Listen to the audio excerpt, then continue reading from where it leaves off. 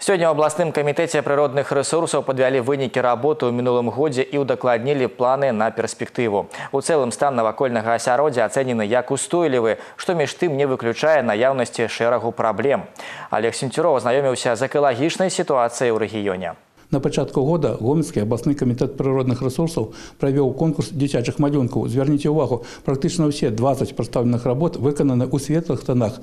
Нават непаўналетнія, якім максімум па 10 гадоў разумеюць, прыроду неабходна берагчы. На жаль, тое, што разумеюць дзеці, не заўсёды разумеюць дарослыя. Па прычыне неэфектыўнай работы ачысных збудаванняў на гомельшчыне на працягу года ў вадаёмы скідваецца да 500 тысяч кубаметраў недастаткова ачышчаных сёкавых вод. Ёсць праблемы з распаўсюджваннем інвазіўных раслін. На кшталт канадскага залатарніка і бальшавіка сасноўскага новых падыходаў патрабуе рэалізацыі ідэй зялёнай эканомікі, якая мае на ўвазе стварэнне больш экалагічна бяспечнага і устойлівага свету. Хоць і ад эколагу залежыць не ўсё. На гомельшчыне рэгіструецца павелічэнне выкідаў паветра шкодных рэчаў ад аўтотранспарту пераход на электрааўтамабілі ў такой сітуацыі можа быць найбольш эфектыўным вырашэннем праблемы але наўрад ці гэта здарыцца ў бліжэйшы час объем автотранспорта и его выбросы сопоставимы с теми выбросами, которые дает в целом промышленность всей нашей области.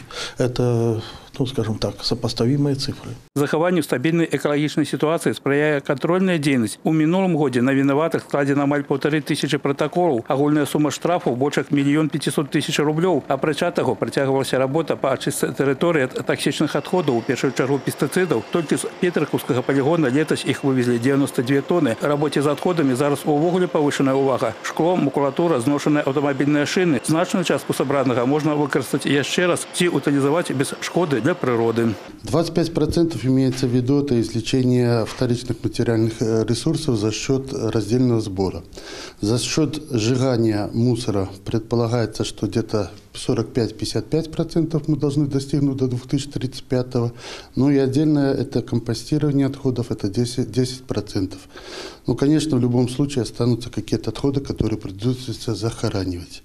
Предполагается, что на захоронение в республике будет уходить где-то до 10% У прынятым рашэнні некалькі артыкулаў гэта ў тым ліку навядзенне парадку на зямлі і кантроль за вытворчымі аб'ектамі азелянення населеных пунктаў сістэмны кантроль за станам водаахоўных зон і нават арганізацыя новых вытворчасцяў бутыляванай пітной вады з артазіянскіх федравін і канешне асветніцкая дзейнасць паўнамерная работа дазволіць захваць у рэгіёне стабільную экалагічную сітуацыю алексей Сенцюроў Евген Макеенко тэлерадокампанія гомель